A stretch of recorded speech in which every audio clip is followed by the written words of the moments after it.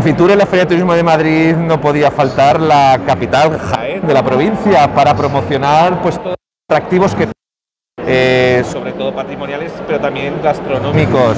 Estamos con el concejal de, turismo, José Mandiguera. Eh, después de una pandemia, evidentemente de un 2020 muy malo, el 2021 ha sido yo creo que bastante satisfactorio para vosotros.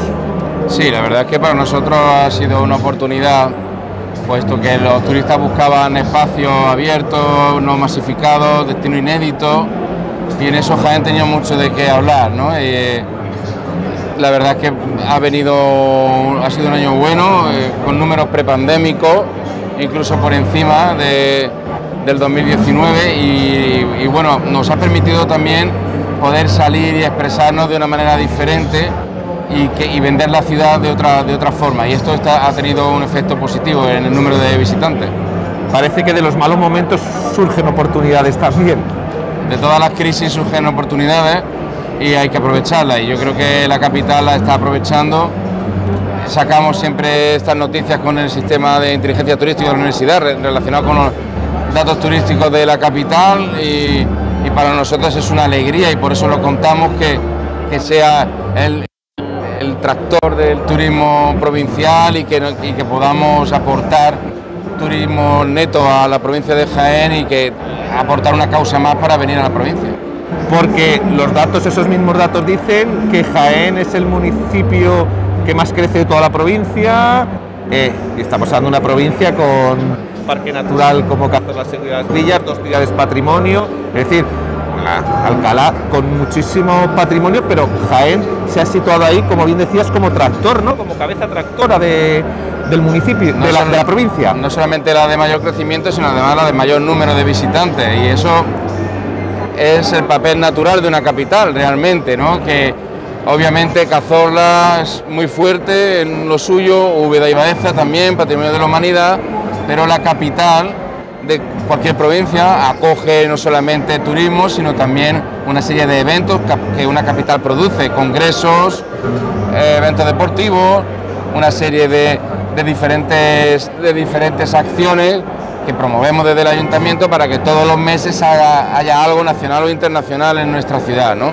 Esto hace que, que se vaya contagiando y que, y que de la gente que viene a un evento concreto al mes venga gente relacionada con ese evento que quieren conocer la ciudad, más toda la información, marketing y comunicación que hacemos del destino, ¿no?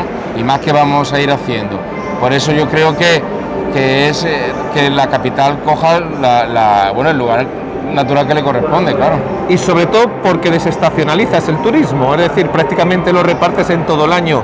Campeonatos de deporte, andaluces, nacionales, congresos. Eh, lo que estás haciendo es tener ocupada la ciudad prácticamente todos los meses del año.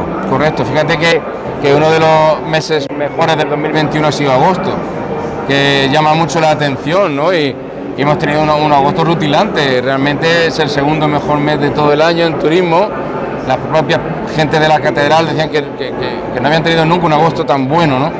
Y esto, aunque hemos hablado con, con gente especialista, y sí que es verdad que agosto no suele ser malo, en Jaén Capital, pero este año ha tenido unos números de récord, ¿no? nunca ha habido un agosto tan bueno.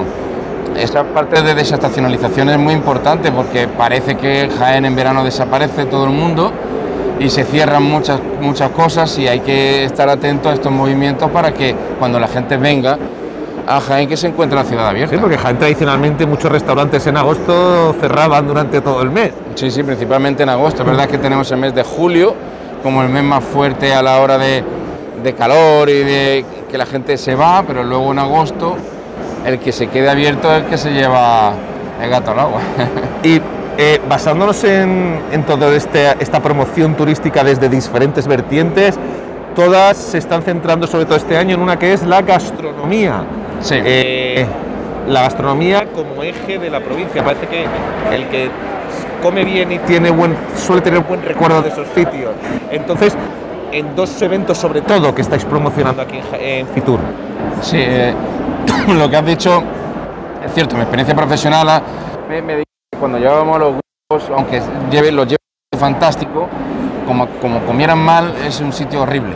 Y aunque el sitio fuera muy normalito, si comían bien es un sitio magnífico.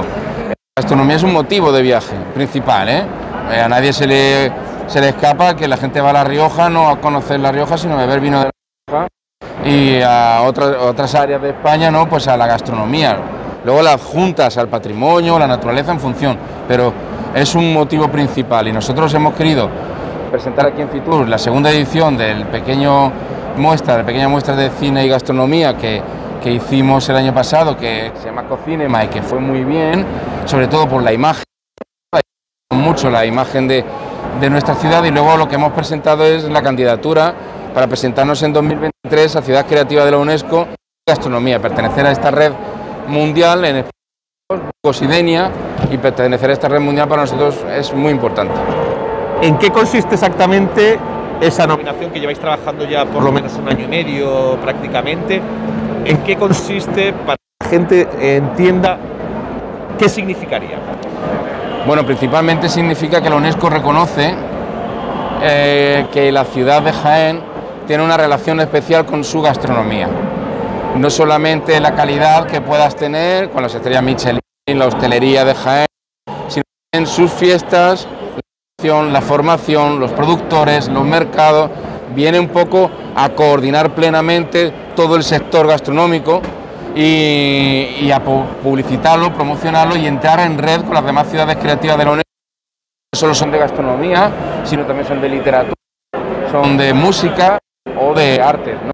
Eh, te metes en una gran red, un sello, de, la, el sello UNESCO siempre es un sello muy importante. Vamos a decir, el sello UNESCO es que habla sí por sí solo. Claro, efectivamente. Supongo que sería un, un, gran valedor para poder seguir con esta, con esta promoción, ¿no? Sí, sí, sí, para nosotros es importantísimo. Yo te digo que este año es importante en gastronomía, también en la parte de naturaleza, no lo anunciamos en el tour, pero sí a lo largo del año iremos anunciando diferentes acciones de naturaleza para el entorno natural tan especial en, eh, que tiene Jaén. Y bueno, pues el patrimonio, la naturaleza y la gastronomía. Y también el deporte. En, todos los campeonatos que hemos hablado, Andalucía Bike Race, por ejemplo, que sigue estando en Jaén y que eso, pues bueno, para nosotros es, os, es os trae 800 deportistas como porque, claro, pero, ¿no? La deporte, pero deporte, ¿no? Que es en el entorno natural de Jaén. Siempre queremos que la capital tiene estos dos ecosistemas de llanura y olivar y montaña. La primera está muy identificada, todo el mundo cree que está en medio de un gran olivar llano, pero no saben que estamos sobre una montaña. Los que somos quienes lo sabemos, porque tenemos que bastante. La cuesta de los civiles la, la famosa. Entonces, vivimos encima de porque vivimos en una cadena. Tenemos a espalda, siempre dijimos que queríamos dar la para que a su entorno natural. Y la práctica del ciclismo espectacular en, esa, en, en toda la zona de Jaén, toda la comarca. Espectacular, totalmente.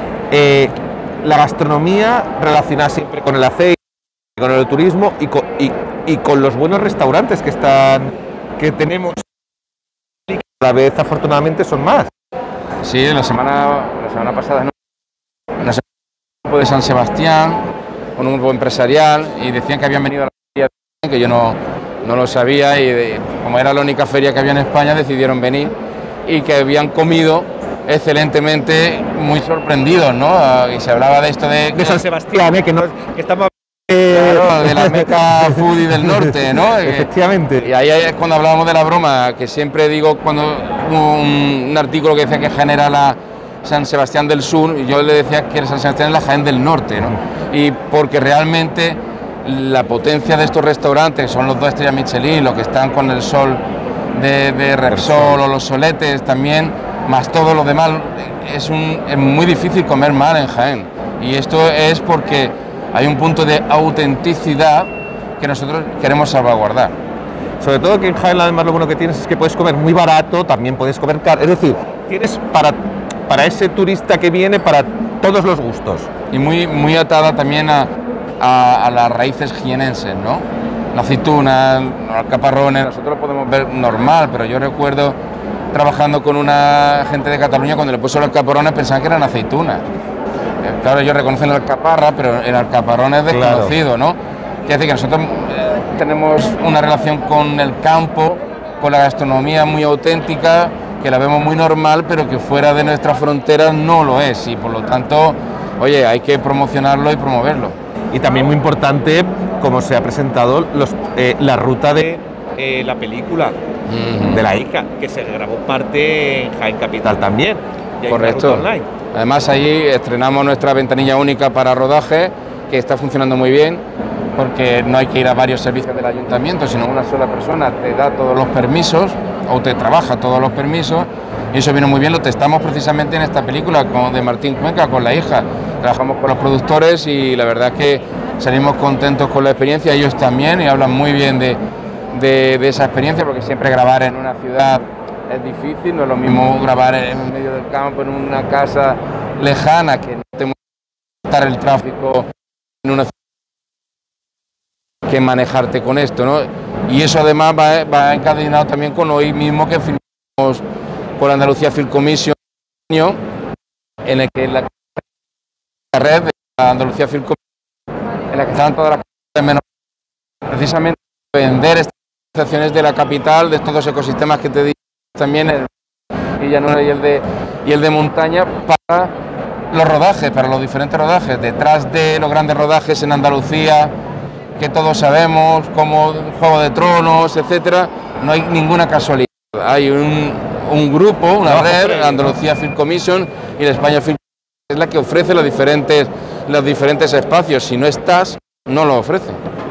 Y mira que se pueden haber grabado episodios de Juego de Tronos en la Ya podríamos haber visto a un dragón Lo que está claro es que hay que seguir eh, trabajando, innovando, buscando nuevas oportunidades eh, de, atraer el turismo a la capital y que siga siendo la cabeza tractora de la provincia. Lo que realmente nosotros queremos y lo hemos dicho es contar Jaén, hablar de Jaén porque no se hablaba de Jaén y se contaba de Jaén y realmente no queremos poner sino que Jaén está estándar de Hemos dicho que la Andalucía Film Commission Jaén Capital no estaba, pero como esto se encuentra en otras muchas cosas, ¿no? Estuvimos a punto de salir de la red de juderías por impago, ¿no?